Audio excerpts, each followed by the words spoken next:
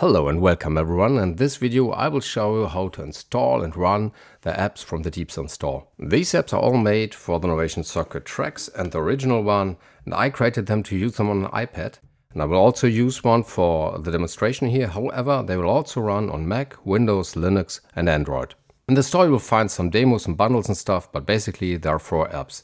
NC Editor, NC Companion, then there's Vanilla, which comes with NC Companion, and NC Pocket Storage. NC Editor is a patch editor for the two synths on the circuit tracks.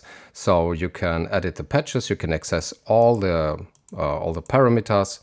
Uh, you also have a patch manager, so you can load and uh, save uh, to the tracks.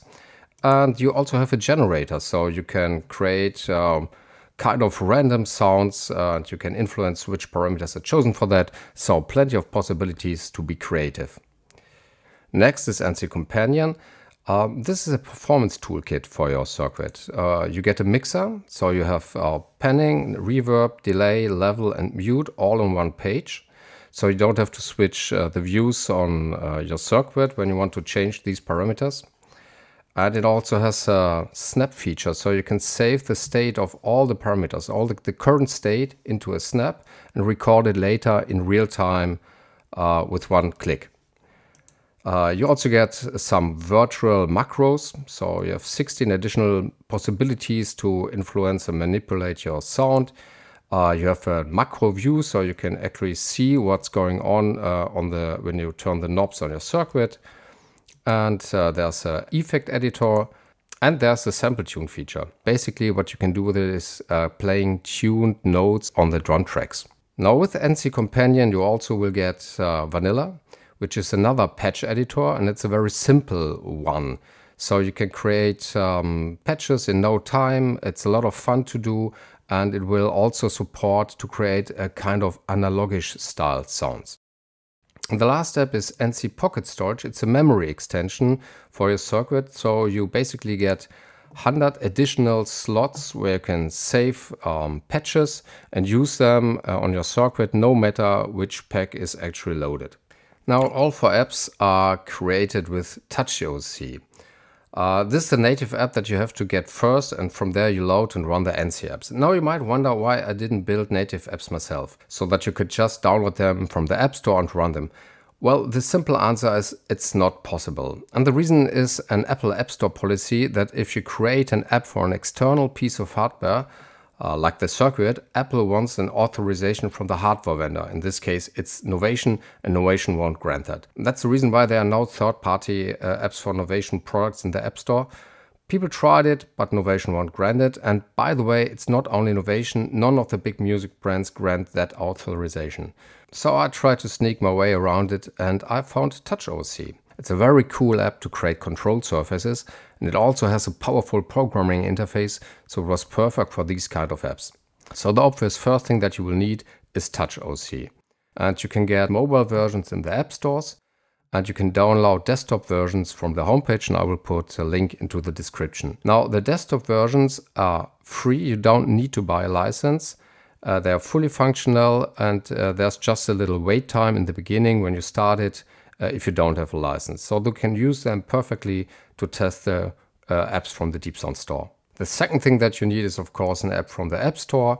You can download a demo for free or you can just purchase an app.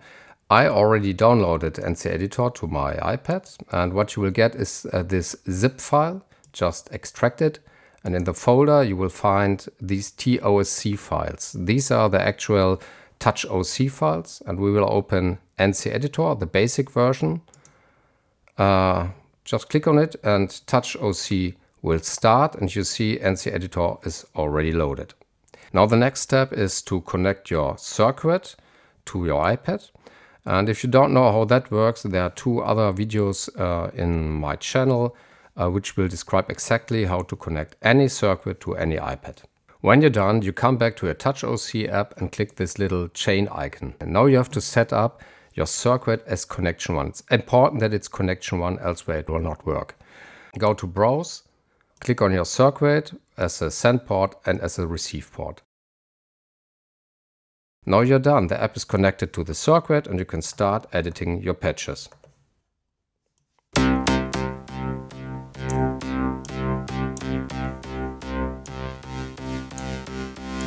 If you want to stop the app, you can just click on this little dot in the upper right corner. And now you can close the app. And if you restart it, uh, it will automatically load everything as it was. Now most of the apps also support MIDI hardware controller like the Akai MIDI Mix. And the first thing that you have to do is to connect it to your iPad. And on your iPad, you just connect it to the USB-C hub. And that's all you have to do. Now it will run without external power, but I recommend it for extended runtime. With an old iPad, it's basically the same. I just added a simple hub to have my USB ports, and then I connected the Akai MIDI Mix and the tracks to this hub. Just remember in this setup with the tracks that you need external power because the tracks will not run without it. Now back in TouchOSC we have to set up a connection to the controller, so click the chain icon. Now it has to be connection 2, that's important. And then choose uh, the controller as send port and also as receive port. Now for NC Editor we have a special version for the MIDI mix and um, it's called NC Editor mm.tosc. Click that. And you see uh, the layout of this version is a little bit like the uh, layout from the Akai itself. And now we can start that. And you see uh, they are directly connected. Now in Vanilla and NC Companion it's a little bit different. You don't have special layouts for specific controllers. Instead you have a MIDI learn function and you can activate it here. And then uh, you can choose a controller and you move a controller uh, on your controller. And now these are connected. So that's how you run the apps from the Deep Sound Store. Uh, you don't have to do all this stuff again and again. TouchOSC will remember your setup. Um, that's it. Cheers and have fun with your circuit.